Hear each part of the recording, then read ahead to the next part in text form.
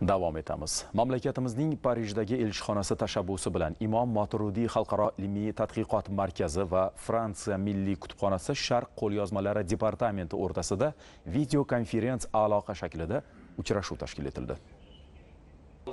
Tadbirda fransiya tomonidan sharq qo'lyozmalari departamenti rahbari loren erishe boshchiligidagi fransuz sharqshunos olimlari o'zbekiston tomonidan esa markaz jamoasi ishtirok etdi. Uchrashuvda markazning tashkil etilishi uning maqsad va vazifalari tanishtirildi. Islomiy ilmlar xususan kalom ilmi tarixi va uning bugungi kundagi ahamiyatini tadqiq etish sohasidagi xalqaro hamkorlikni kuchaytirish olib borilayotgan tadqiqotlar natijalari yuzasidan qomuslar kataloglar va kitoblar nashr etish ustida ishlar olib borilayotganligi aytib o'tildi. Fransuz tomoni o'zbekiston o'zbekistonda diniy ma'rifiy sohada olib borilayotgan tizimli islohotlarni yuqori baholab bugungi kunda xorijiy davlatlarning o'zbekiston ilmiy muassasalari bilan hamkorlik munosabatlarini olib borishga qiziqishi ortib borayotganini ta'kidladi. Xususan sharq qo'lyozmalari departamenti rahbari loren erishe imom moturidiy xalqaro ilmiy tadqiqot markazi bilan hamkorlik o'rnatishga tayyorligini bayon etib o'zbekiston bilan aloqalar so'nggi uch to'rt yil ichida jadallashganligini alohida qayd etdi. O'zbekiston madaniy merosi jahon to'plamlarida kitob albomlarining kutubxonaga taqdim etilganligi sharq qo'lyozmalari departamenti qo'lyozmalari asosida tayyorlangan